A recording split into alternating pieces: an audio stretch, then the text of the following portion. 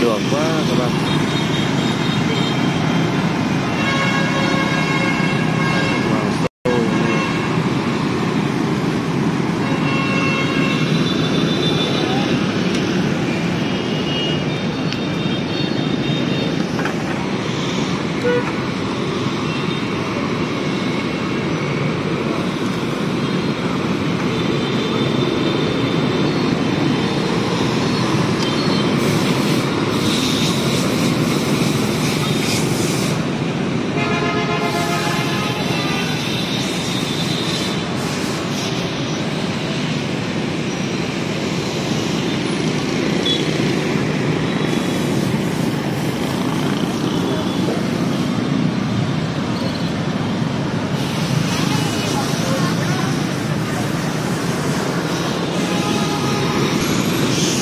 Bao tiền?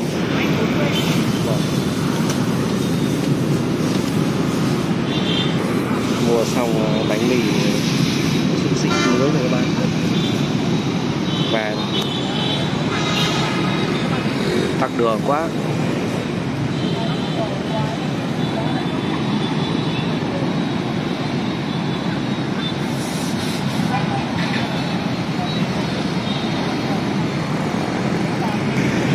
đường về trên đường về tắc quá giờ mới là khoảng à,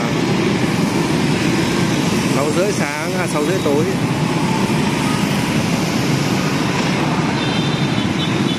Đường thì đông. Tắc kinh khủng thật.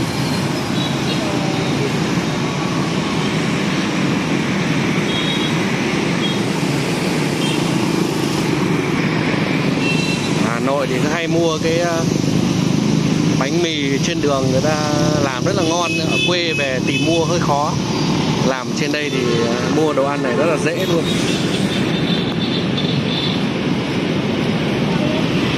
Rất uh, bánh mì với hai cái xúc xích. 40 nghìn. Ăn không no được đâu Và ăn ngon.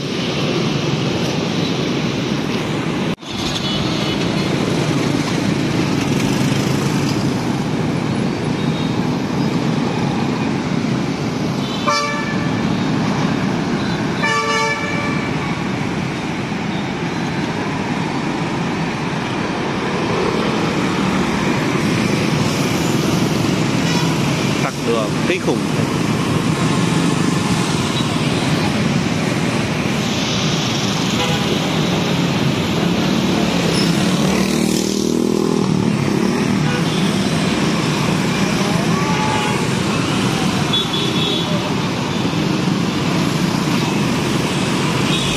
Đường đi làm về.